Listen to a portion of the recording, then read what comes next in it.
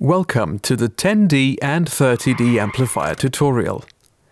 Both amplifiers are specifically designed for fixed install applications and offer the same DSP power as the D80 Touring amplifier. First, let's have a look at the devices from the outside.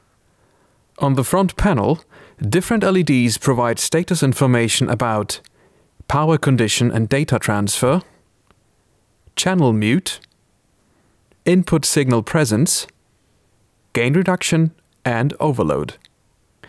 Individual channel mute LEDs will flash to indicate an error condition in the respective channel.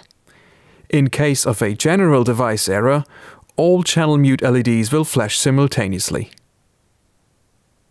Let's now have a look at the rear panel. On the left, you can find the mains power switch and a PowerCon connector. The center section contains two pairs of speaker outputs, represented by 4-pin Phoenix Euroblock sockets. Four RJ45 connectors provide remote control connectivity. There are two connectors each for DB-CAN and Ethernet access. The upper right side contains the signal input panel. The 10D and 30D both accept four analog inputs and two digital inputs in AES format at the same time, giving a total of eight simultaneous input signals. Latency-free buffered daisy chain outputs are provided for the AES inputs. The analog inputs can be daisy chained by parallel wiring within the Phoenix connectors.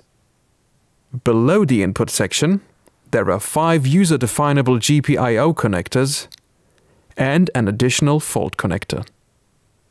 A reset button is located between analog input connectors A2 and A3. To reset the amplifier, turn off the power, press and hold the reset button, and repower the device. The amplifier will sound a long beep. Release the button and click it briefly to confirm.